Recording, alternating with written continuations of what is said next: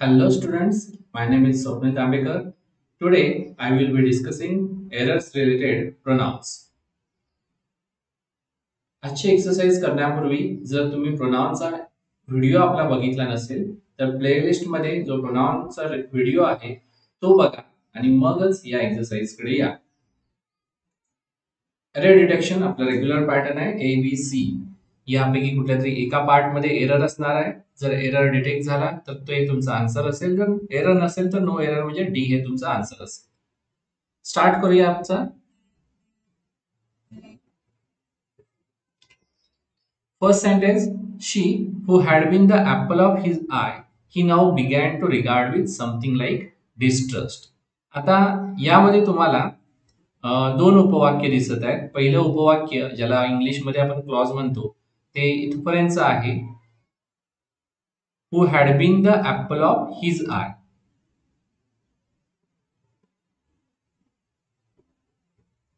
आणि दुसरं उपवाक्य हे इथून सुरू होतं. He now began to regard with something like distrust आता सुरुवात करूया आपण she.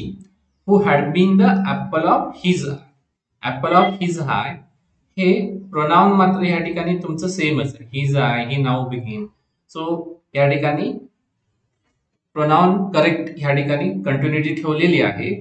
He now began to regard with something like distrust had been who had been the apple of his eye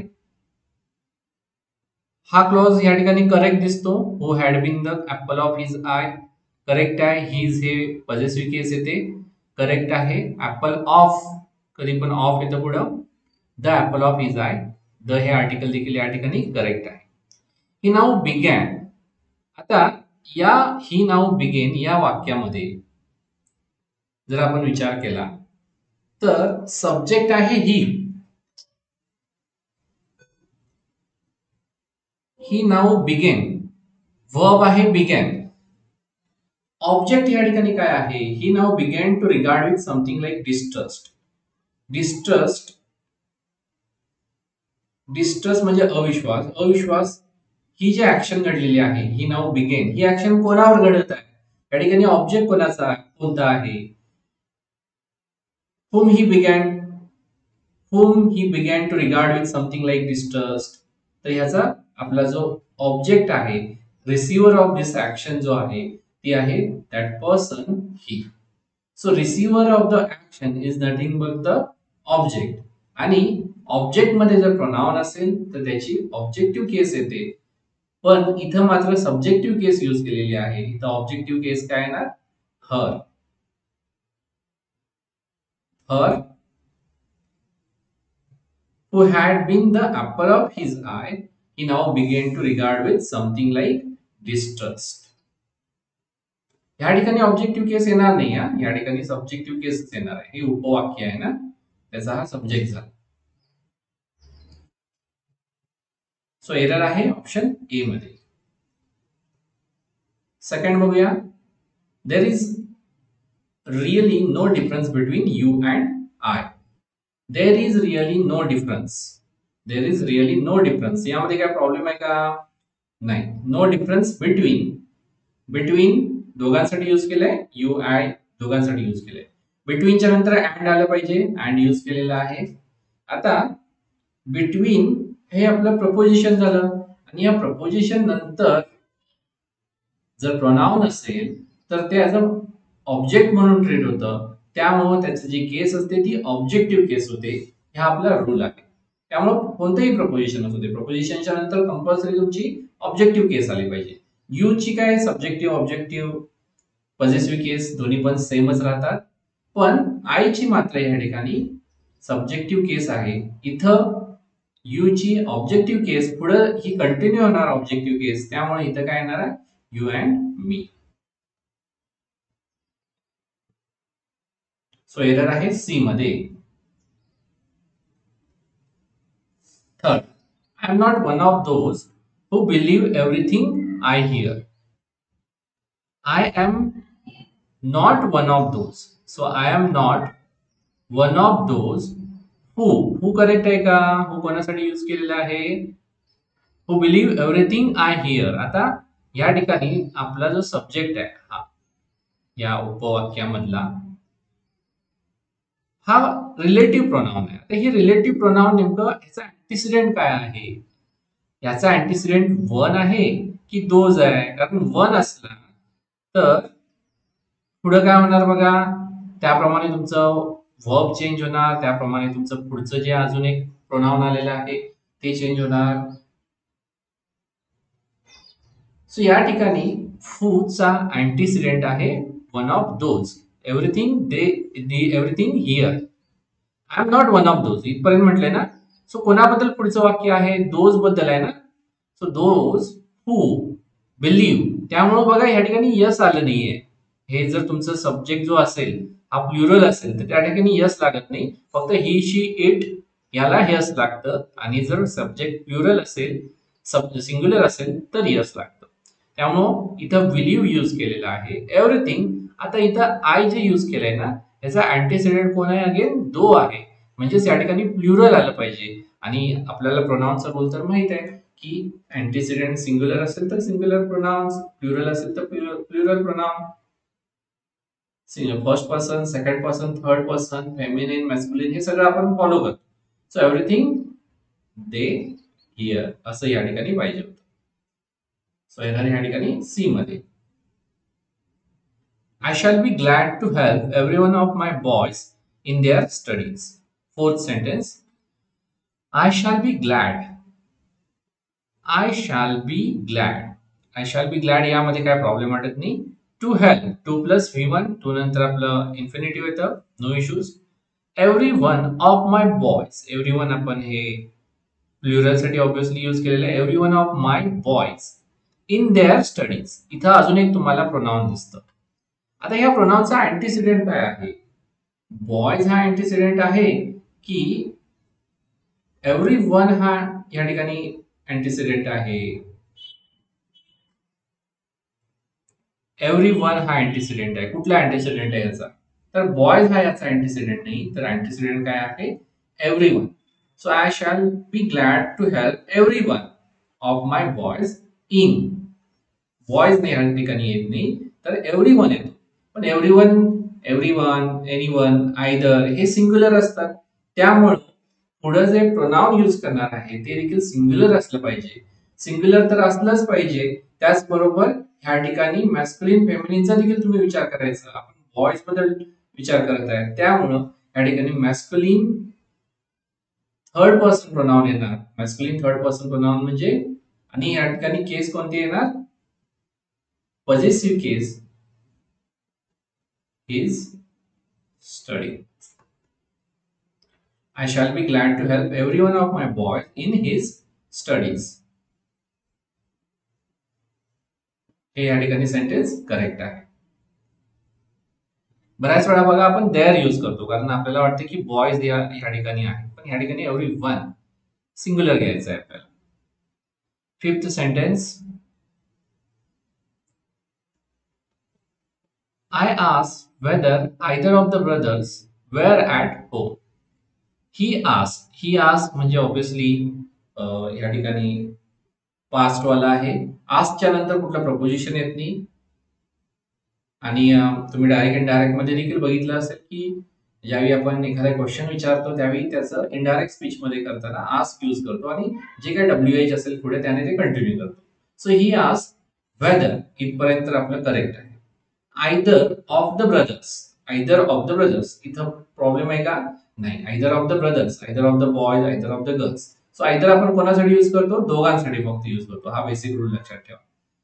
wear at home आता ह्या ठिकाणी हा जो wear आहे या वेअरचा सब्जेक्ट कोण आहे? तर आयदर हा सब्जेक्ट झाला ना हा या ठिकाणी सब्जेक्ट झाला. पण हा सब्जेक्ट जो आहे हा कसा आहे? मगाशीच मी तुम्हाला सांगितलं. Either neither of the boys either of the boys each of the boys हे सिंग्युलर असतात. ह्याला आपण ब्रदर्स या ठिकाणी ब्रदर्स हा सब्जेक्ट घ्यायचा नाही आहे. याला ऑफ प्रॉक्झिमिटी ज्याला आपण म्हणतो. ह्याचा सब्जेक्ट आहे आयदर त्यामुळं ह्या ठिकाणी काय येणार? आज हे ऑब्विसली आहे इनडायरेक्ट स्पीच मध्ये. त्यामुळे पास्ट टेन्स असणार या ठिकाणी. Was at home sixth sentence she was taller than either of her five sisters she was taller than she was taller than यामध्ये काय प्रॉब्लेम नाही. कंपॅरेटिव्ह सेंटेन्स आहे. Than than either of her five sisters either of her आता या ठिकाणी problem काय येतो? मगाशीच मी तुम्हाला सांगितलं ना आयदर हे कोणासाठी युज करायचं असतं? फक्त दोघांसाठी. पण इथं फाईव्ह आहेत ना. त्यामुळे आयदर ह्या ठिकाणी येणार नाही. सो या ठिकाणी काय यूज करू शकता तुम्ही? Any one of her five sisters so error आहे सी मध्ये. Seventh question he was the man whom they determine should be the next mayor आता यामध्ये अगेन तुम्हाला काही उपवाक्य म्हणजे क्लॉज दिसत आहेत. ही वॉज़ द मॅन हे तुम्हाला एक उपवाक्य दिसतं.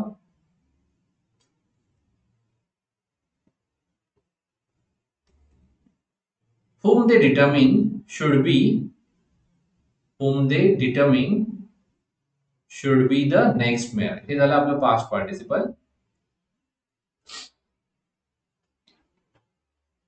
they determine should be they determine हे काय वर्ब नाही हा past participle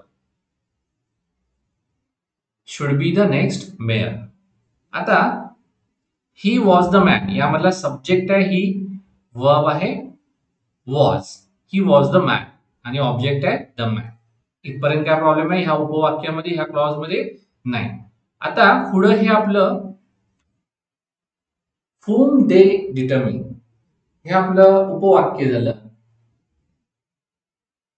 सबऑर्डिनेट क्लॉज ज्याला आपण म्हणतो डब्ल्यू एच ने सुरू होणारा clause so whom they determine should be the next mayor आता ह्या ठिकाणी मेन वर्क कोणता आहे? तर शुड बी शुड बी मग याचा सब्जेक्ट काय झाला? ही शुड बी बरोबर? He should be the next mayor म्हणजेच या ठिकाणी सब्जेक्टिव्ह केस आली पाहिजे. पण ह्या ठिकाणी होम म्हणजे काय झाली? ऑब्जेक्टिव्ह केस हो ही आपली सब्जेक्टिव्ह सब्जेक्टिव्ह केसमध्ये येते. होम ही ऑब्जेक्टिव्ह केसमध्ये येते. हुज पॉझिटिव्ह केसमध्ये येतं.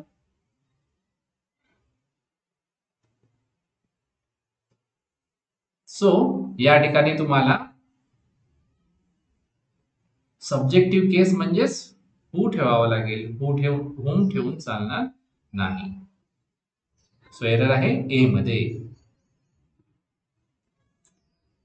Eight question the student who you thought so highly of has fail to win the first prize so यामध्ये देखील तुम्हाला बरेच उपवाक्य क्लॉजेस दिसत आहेत. जसं इथं क्लिअरली आपण सांगू शकतो की हॅज फेल टू विन हे आपलं एक क्लॉज झालं. त्यानंतर पहिला या ठिकाणी क्लॉज आहे who you thought so highly of हा एक क्लॉज आहे. बरोबर? डब्ल्यू एच ने सुरू होतो म्हणजे हा सबऑर्डिनेट क्लॉज झाला. आता सब ह्या जो वर्ब आहे इथला verb has failed has plus V three हे तर करेक्ट आहे. टू नंतर व्ही वन हे देखील इन्फिनेटिव्ह देखील करेक्ट आहे. हे जे वर्ब आहे हॅज फेल्ड ह्याचा सब्जेक्ट काय आहे? या वर्बचा the student has failed to win the first prize no issue आता हे जे उपवाक्य आहे who you thought so highly of you thought so highly of the student बरोबर? You thought so highly of the student but you thought so highly of the student of the student म्हणजे ऑफच्या पुढे. बघा प्रपोजिशनच्या पुढे जर एखादं noun किंवा pronoun आलं तर ते ऑब्जेक्टिव्ह केसमध्ये येतं ना. सो द स्टुडंट ह्या पुढे जो येणार आहे जो इंडिकेट करतो या फूला रिलेटिव्ह प्रोनाऊनला हा ऑब्जेक्टिव्ह केसमध्ये आला पाहिजे. म्हणजेच या ठिकाणी ऑब्जेक्टिव्ह केस म्हणजे काय आला पाहिजे? Home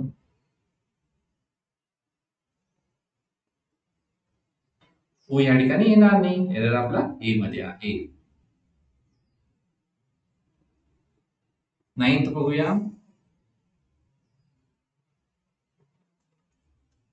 It was one of the best speeches that has ever been made in the parliament. It was one of the best speeches. So it was one of the best speeches. हे आपलं एक clause झाला that has ever been made in the parliament. हे आपला दुसरा clause म्हणजे दुसरं उपवाक्य आता या पहिल्या उपवाक्यात it was one of one of the best speeches यामध्ये काय प्रॉब्लेम आहे का वन ऑफ द असं जर असेल तर पुढे कंपल्सरी प्लुरल नाऊन आलं असतं. One of the boys one of the girls one of the speeches plural correct आहे या ठिकाणी? दॅट दॅट हे आपल्याला रिलेटिव्ह प्रोनाउन म्हणून ऍक्ट करतं. आता हे स्पीचेस आहे म्हणून हे दोज होणार नाही ते आपलं रिलेटिव्ह प्रोनाउन आहे. त्यामुळे दॅट हे रिलेटिव्ह प्रोनाउन आहे. दोज हे डेमॉन्स्ट्रेटिव्ह प्रोनाउन आहे लक्षात ठेवा. दोज आर द बॉयज हे करेक्ट आहे. बट ह्या ठिकाणी दॅट हे रिलेटिव्ह प्रोनाऊन म्हणून ऍक्ट होतं. त्यामुळे ह्या ठिकाणी दोज होणार नाही अधिक माहितीसाठी तुम्ही आपला प्रोनाऊनचा व्हिडिओ बघू शकता. That has ever been made आता ह्या ठिकाणी it was one of the best speeches that कोणाला रेफर करतं? ह्या वन ऑफ द बेस्ट स्पीचला रेफर करतं? की ह्या स्पीचेसला रेफर करतं? Ever been made in the parliament बोलले ना? सो आतापर्यंत ते सगळ्यात बेस्ट आहे. म्हणजे हे जे आहे हे दॅट कोणाला रेफर करतं? या वनला रेफर करतं. दॅट म्हणून या ठिकाणी हॅज यूज आलेला आहे. स्विचेस असतं तर ह्या वाला असतं ना? Sorry sorry mistake my mistake ह्या ठिकाणी वन ऑफ वन नाही. That speeches ever made in the parliament आतापर्यंत जी झालेली आहेत स्पीचेस ना त्याबद्दल बोलत आहे. त्यामुळे या ठिकाणी वनला रेफर करणार नाही. तर ह्या स्पीचेसला रेफर करणार. त्यामुळं ह्या ठिकाणी स्पीचेस असल्यामुळं ह्या ठिकाणी हॅज येणार नाही. हॅव येणार. That have ever been made in the parliament. आतापर्यंत झालेल्या स्पीचेस मध्ये हे बेस्ट आहे. सो आतापर्यंत झालेल्या स्पीचेस मध्ये असं म्हटलंय ना? त्यामुळं दॅट हे या स्पीचेसला रेफर करणार ever been made in the parliament next tenth question this is the only one of his poems that are worth reading आता मगाच्या सेंटेन्समध्ये आणि या सेंटेन्समध्ये तुम्हाला फरक लक्षात this is the only one of his poems या उपवाक्यामध्ये काय प्रॉब्लेम आहे का? This is the only one this is the only one of his poems his म्हणजे ह्या ठिकाणी हे काय सांगू शकत नाही हिज ऑर हर इथं काय आपण मिस्टेक सांगू शकत नाही. हिज पण चालेल हर पण चालेल. पॉझिटिव्ह केस पाहिजे मात्र ती आहे. That are worth reading now we are talking about the worth reading point आता ह्या वर्थ रिडिंग पोएम ही एक सिंगल पोएम असणार की ह्या पोएम्सबद्दल बोलतोय? जसं प्रिव्हियस वाक्यामध्ये आपण स्पीचेस बद्दल बोलत होतो that have been ever made in the parliament but we are talking about the only one poem that is worth reading so ह्या ठिकाणी दॅट कोणाला रेफर करतं? ओनली वन पोएम याला रेफर करतं. त्यामुळं काय होणार? या ठिकाणी that is worth reading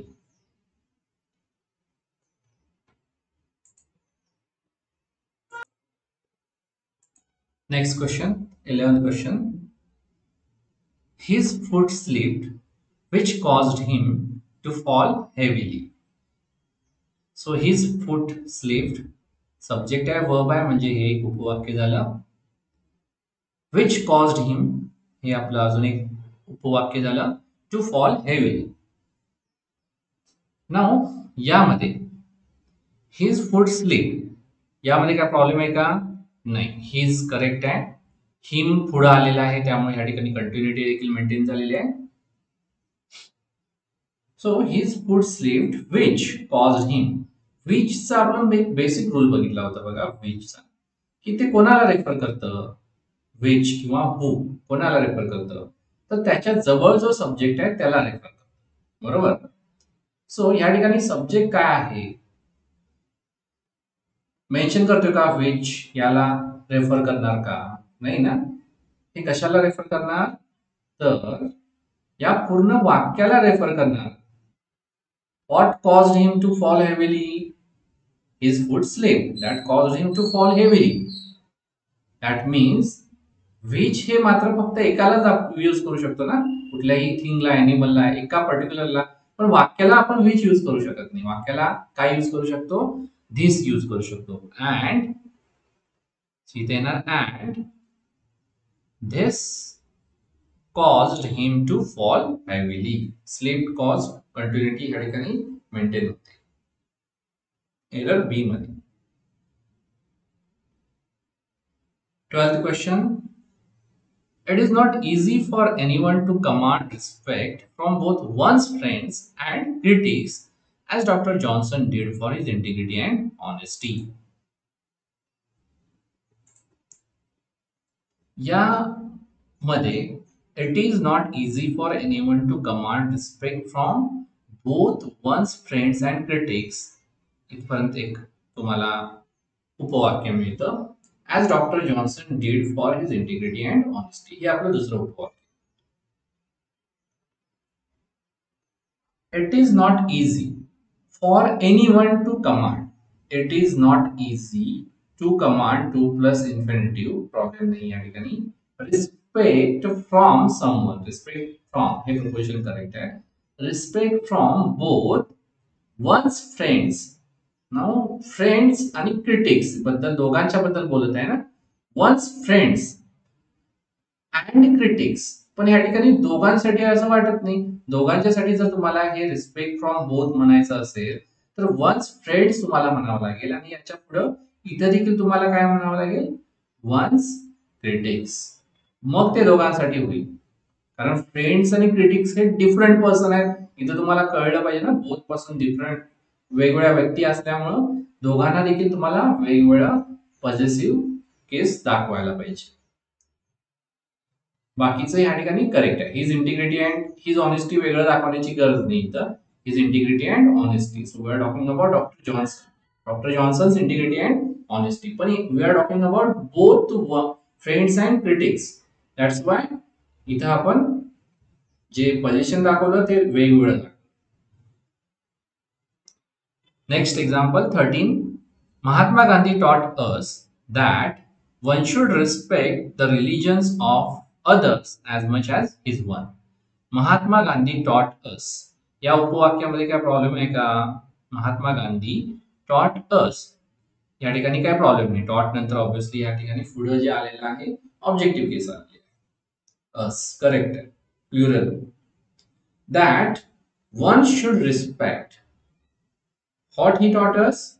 That one should respect the religions of others religions of others या ठिकाणी यूज केलेला आहे. दुसऱ्यांची. As much as his own आता या ठिकाणी प्रॉब्लेम आहे हिजमध्ये. बेसिक एक रूल आहे लक्षात ठेवा. ज्यावेळी वन आपण एखाद्या सेंटेन्समध्ये यूज करतो त्यावेळी थ्रूआउट सेंटेन्समध्ये आपण वन यूज करायला पाहिजे. ज्यावेळी सेंटेन्समध्ये एकदा वन यूज करतो त्यावेळी थ्रूआउट सेंटेन्समध्ये वन यूज केलं पाहिजे. त्यामुळे इथं काय ना as much as positive case दाखवायला लागेल वन्स ओन किंवा या ठिकाणी असं देखील केलं असतं तर हिज ऑर हर तरी चाललं असतं. His or her own fourteenth he you and I will manage this problem together he you and I या ठिकाणी पर्सन बघा. हा फर्स्ट पर्सन आहे. यू हा सेकंड पर्सन प्रोनाउन आहे आणि हे आहे हे थर्ड पर्सन प्रोनाउन आता ह्यांचा ज्यावेळी सिक्वेन्स लागतो त्या सिक्वेन्सबद्दल एक रूल आहे. ज्याला आपण rule of two three one असं म्हटलं होतं. Two three one rule of maths आपण हा प्रोनाउनच्या व्हिडिओमध्ये कव्हर केलेला. जर तुम्ही बघितला नसेल व्हिडिओ तर बघा तुम्हाला हा रूल सापडून जाईल. काय सांगतं? तर सिक्वेन्स जो आहे फर्स्ट पर्सन सेकंड पर्सन आणि थर्ड पर्सनचा असा टू थ्री वन ठेवायचं. म्हणजे सेकंड पर्सन त्याच्यानंतर थर्ड आणि त्याच्यानंतर फर्स्ट पर्सन तिन्ही पर्सन एकदम आले तर. म्हणजेच या ठिकाणी सिक्वेन्स कसा ठेवणार? पहिल्यांदा ठेवणार तुम्ही सेकंड पर्सन यू त्यानंतर थर्ड पर्सन ही आणि त्याच्यानंतर अँड असा सिक्वेन्स ठेवणार. सो एरर आहे ए मध्ये.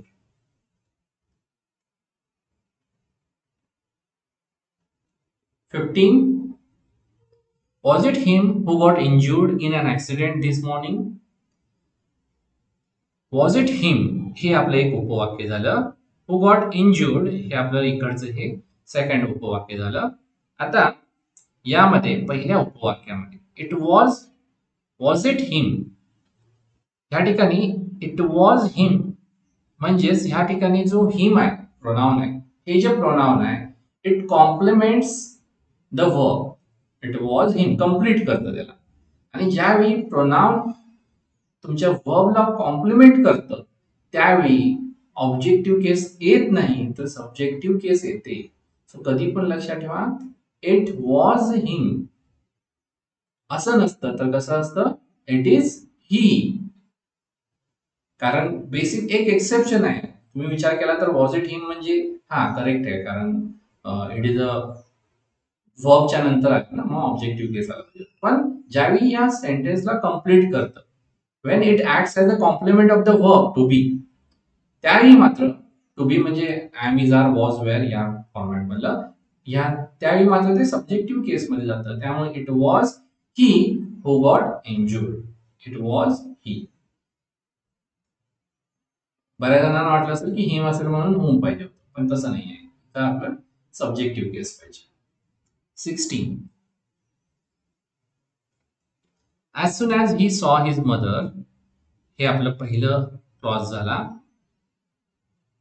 He ran to her second clause and embraced third clause as soon as he saw his mother यामध्ये काय प्रॉब्लेम आहे का? He saw his mother he his mother no issue he ran to her her म्हणजे तिच्या आईकडे.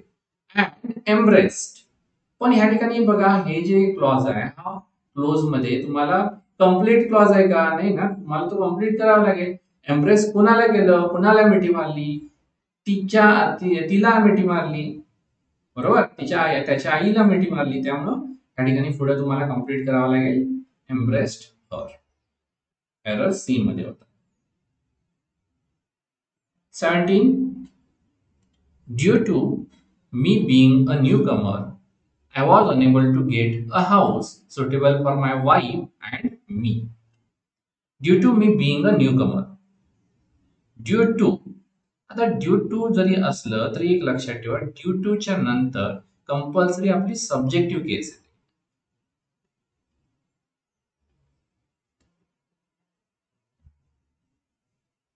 So subjective case काय येते कारण ड्यू टू ॲज अ या ठिकाणी ऍडजेक्टिव्ह म्हणून ऍक्ट करतं त्यामुळे. म्हणून इथं काय होणार आहे? Due to I being a newcomer. I was unable to get a house. To get a house suitable for my wife. For नंतर my wife and me. For नंतर आपला ऑब्जेक्टिव्ह केस पुढे येते. माय वाईफ इथं obviously position दाखवलंय and me objective case so error आहे A मध्ये.